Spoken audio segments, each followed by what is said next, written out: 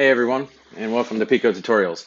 Uh, today I wanted to go over how to export video. Um, obviously that's the main feature of a VMS. We want to be able to export that video and share it with others. So let's go ahead and get started. So first off, obviously I need to pick a camera that I am uh, that, that I'm looking at, right?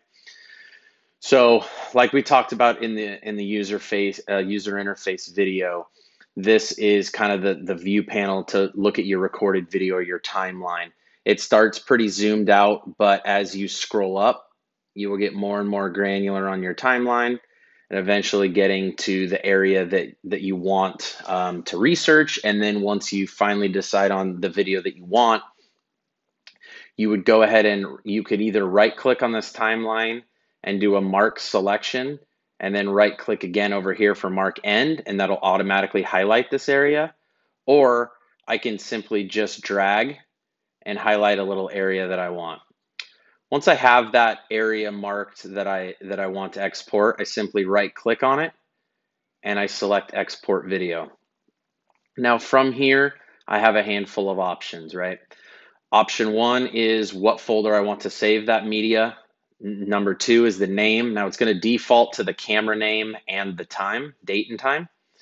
Uh, and then I have a container. So I can choose MKV, AVI, MP4, which are all very common containers for media. If I select NOV, that is Piko specific. So say you wanted to share it with somebody and only allow them to view it on Piko, you would choose that file format. Or you can export as an EXE, which will actually have the player built into it. So in the event you're you're concerned that somebody may not have the, the appropriate player to view that video, you can select as EXE. Along with exporting the video, you have a handful of options here. You can actually add a timestamp to the video. You can choose what format that's going to be, short, uh, short format or long format of the date.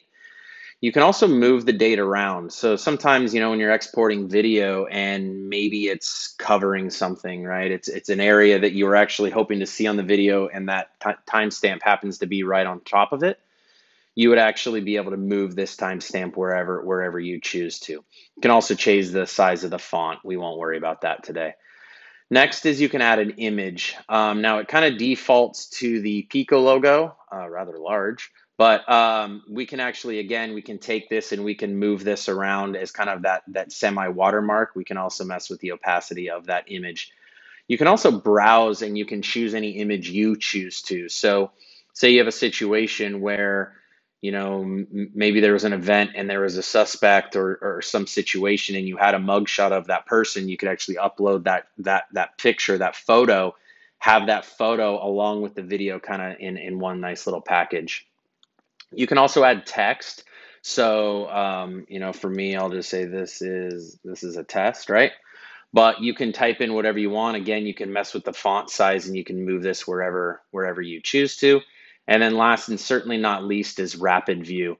Uh, say you have a really long clip, say it's 5, 10, 15, 20 minutes even, um, and you don't want whoever you're sharing this with to have to suffer through watching a, a 10 or 15 minute video, you can actually use rapid view and speed that up or rapid review, excuse me, and you can change it to a one minute clip or a two minute clip and it'll automatically speed that video up.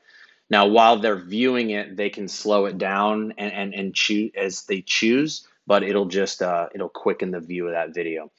And then once I click export, it'll download from, from the server and then it'll make it readily viewable for you. So I, uh, I downloaded one a little bit earlier and I wanted to show you another cool feature that's built into Piko. So under local files, any any video that you download will automatically show up in the in your local files folder.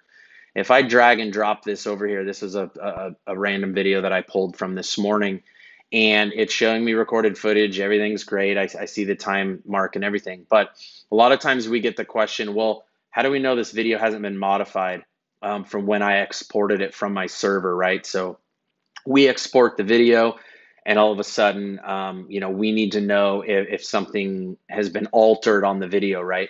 Well, Piko has a built-in, essentially a, a digital watermark or a file watermark checker. So you can actually right-click right here in the middle, and you can sec- select check file watermark, and it'll actually analyze the video and tell you if that video has been modified or not. Even if somebody were to make a incredibly small modification to the file, the checksum has been altered and changed, and Piko will actually show you a result of an unmatch or a big red, um, which is obviously bad, means um, something's been modified. So this is a really cool feature. Uh, you know, mess around with it. We'd love to hear you guys' feedback on that.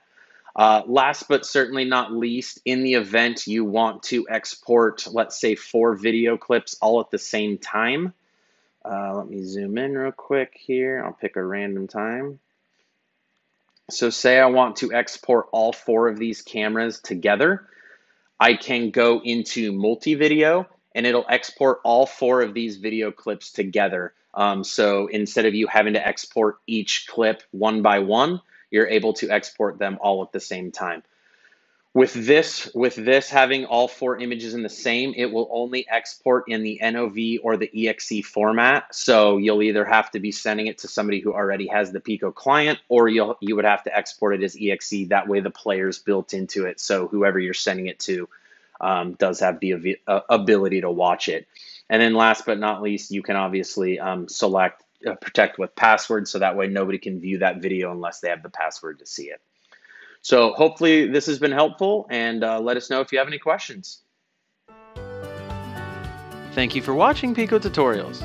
If you'd like to watch more how-to videos around Piko, please click here for our tutorials channel. Or you can visit us at pikovms.com for more documentation and downloads.